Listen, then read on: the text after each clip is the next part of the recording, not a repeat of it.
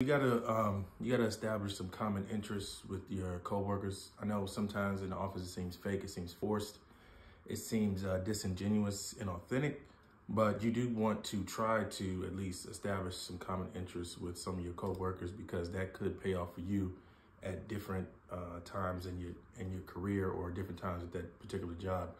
Uh, and the mo two most common things that you could establish are sports and TV shows.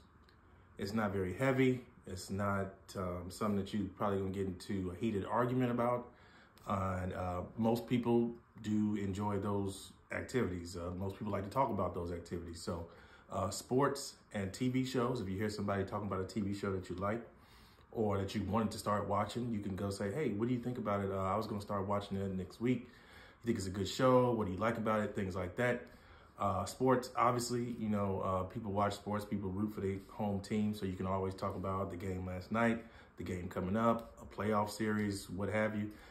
And, you know, if you talk about sports, don't don't be one of those guys that's trying to get into a debate and shit all the time. You know what I mean? You know, one of your coworkers asks you, oh, who's the GOAT, LeBron or Michael? Just, you know, who gives a fuck?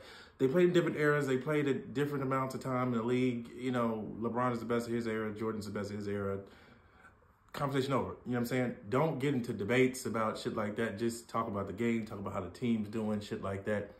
And these establishing these connections can help you because if this person gets promoted, they'll remember that. They'll remember that they have a familiarity with you and they might give you favorable favorable assignments. They might uh, promote you in different ways and different levels. Um, or they might just look out for you in certain instances if you make a mistake or something like that. So um, it's not just to try to curry favor with your coworkers and try to make them like you. It is to, it's a strategic move to ensure that you have some job security and to ensure that they may look out for you in certain instances. Now, they may not do that, but at least you can make an effort to try to find those common grounds. And if you decide to leave your current company, they may provide a favorable reference. They might write a letter of recommendation in the future. So even if it might not pay off at this particular company, it can pay off in a future job opportunity elsewhere. So you want to try to do that because in corporate, as most of us know,